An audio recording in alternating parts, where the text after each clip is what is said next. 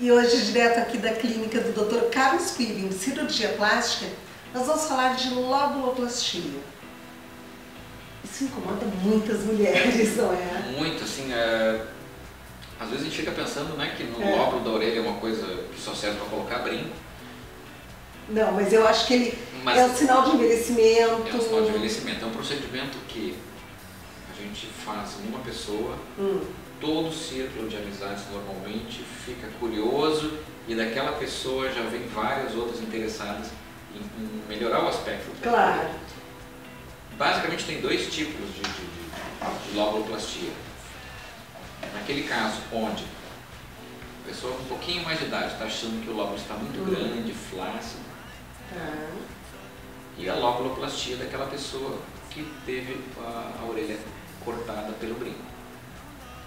Toda Também. pessoa fica, quando envelhece, com o lóbulo flácido? A orelha normalmente cresce, o lóbulo também, pelo uso crônico de brinco, mas não só os homens também que nunca usaram brinco, Também. o lóbulo vai crescendo. Tá?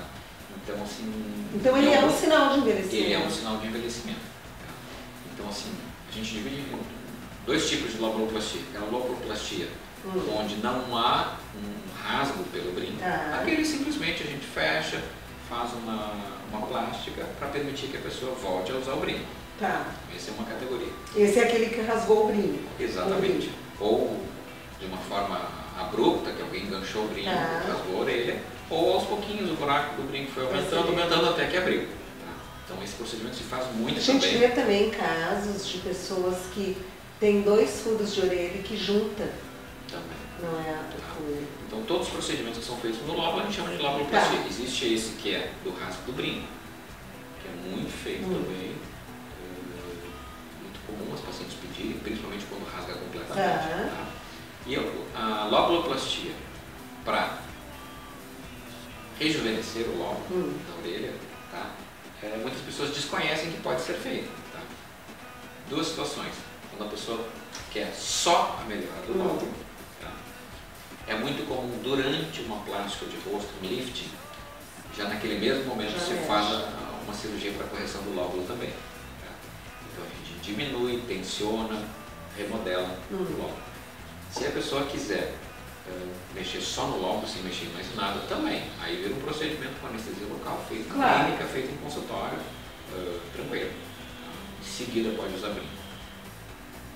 Existem duas, duas situações. Uma, o lóbulo muito grande, Tá. onde a gente tem dois, dois tipos de plásticos mais Hum. comuns, que a gente reduz e tensiona, o lóbulo fica menorzinho, muitas vezes mais bonito, mais arredondadinho, tá? Eh, que a cicatriz é bem... É isso onde, onde, se tem dois tipos de, de- de maneira Hum. de fazer. Uma, que a cicatriz fica bem onde, a- vi. onde o lóbulo cola no rosto, tá? nessa É, parte fixa percebe, do lóbulo, né? não percebe. Ou se o lóbulo é muito grande, a gente faz uma plástica dentro do lóbulo. Tá. tá? Muitas vezes tem que fechar o furinho do brinco para reduzir ele de uma maneira inteira. Hum. Então fica uma cicatrizinha muito discreta e, ele, e é uma plástica onde a gente reduz Isso é bastante o nível aspecto. ambulatorial? Faz a nível ambulatorial. Tá? Muito tranquilo. Vai direto pra casa. Não dói, não sangra, é bem tranquilo. Tá? E anestesia local. Anestesia local. Então é um procedimento bem tranquilo e muitas vezes a pessoa só se dá conta que dá para fazer quando uma Faz amiga toda a fez. diferença, Faz toda a é? diferença. Principalmente naqueles casos onde o lóbulo está muito comprido. né? É, E às vezes a pessoa não se dá conta. Claro. né? E às vezes enxerga numa foto, ou às vezes filho, o neto repara, ah, avó, mãe, como que tem isso aqui comprido? E aí as pacientes vêm perguntar se tem alguma coisa para fazer. É. Mas é um procedimento bem tranquilo ah, e por incrível que pareça o resultado se nota. Porque assim, a orelha comprida é uma coisa que remete a envelhecimento. Claro. Então isso aí é uma coisa simples que se consegue reverter. Não, nada. Mas semana que vem a gente volta direto aqui da Clínica Quiro.